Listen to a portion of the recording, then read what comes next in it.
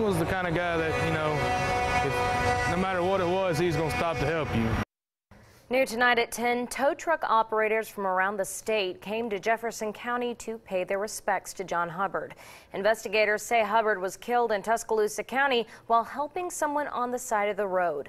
CBS 42 News reporter Matt Fernandez was at the memorial in Adamsville and joins us now live in the studio. And Matt, you spoke to those who knew Hubbard. Lee, I did. Many people who knew Hubbard took part in this scene right here as dozens of tow trucks followed the casket of John Hubbard on Veterans Memorial Drive.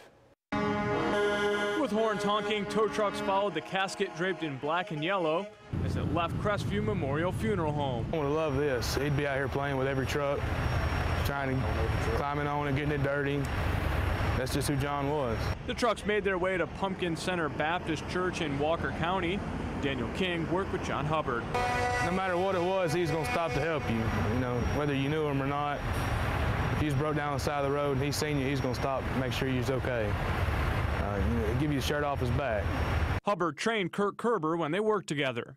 A great guy. Uh, you know, always talked highly of him. On December 10th, Hubbard was helping a driver on Interstate 59. Law enforcement said two cars collided and one hit Hubbard. Mike Ashley came to pay his respects. He came from Huntsville.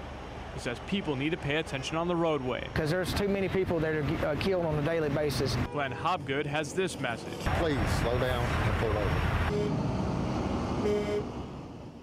And Hubbard was 25 years old, and people paying their respects say he will be deeply missed. Live in the studio, Matt Fernandez, CBS 42 News.